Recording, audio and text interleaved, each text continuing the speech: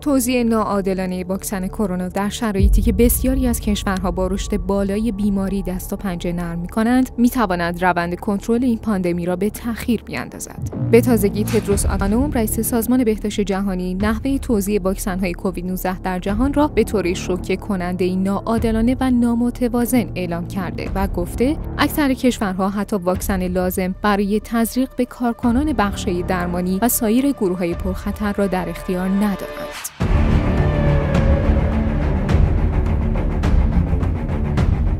سازمان جهانی بهداشت در حال اجرای برنامه موسوم به کوواکس است که هدف آن ارسال واکسن های کرونا به کشورهای دارای درآمد پایین و فقیر است. این سازمان قصد دارد با این برنامه بیش از دو میلیارد دوز واکسن را در کمتر از یک سال به 190 کشور جهان ارسال کند تا دسترسی آنها به واکسن کرونا همانند کشورهای ثروتمند باشد. به طور میانگین در کشورهای ثروتمند یک نفر از هر چهار نفر دست کم یک دوز واکسن کووید 19 را دریافت کرده. اما همین آمار در کشورهای کم درآمد یک نفر از هر 500 نفر است.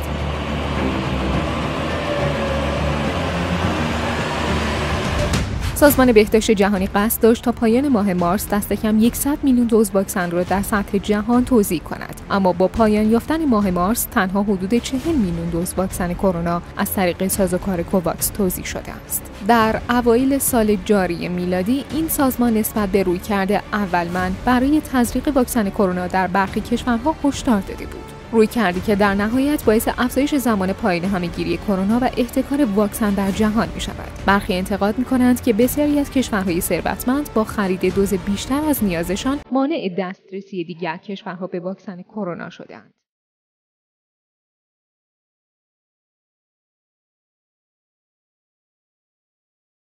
آمارهای تایید شده نشان می‌دهد کشورهای ثروتمند جهان حدود 4.6 میلیارد دوز واکسن کرونا را خریداری کردند. اما میزان خرید واکسن در کشورهای با سطح درآمد متوسط و پایین تنها حدود 670 میلیون دوز است.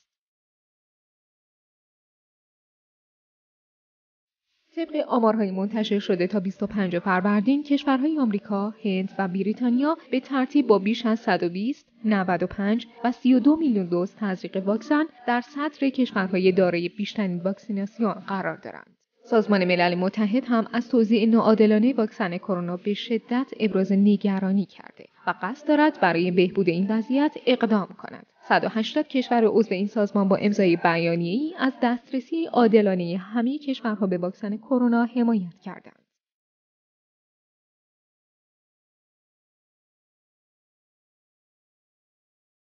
در حال حاضر 75 درصد واکسن تولید شده کرونا در ده کشور توزیع شده و بیش از 100 کشور جهان تا کنون هیچ واکسنی دریافت نکرد.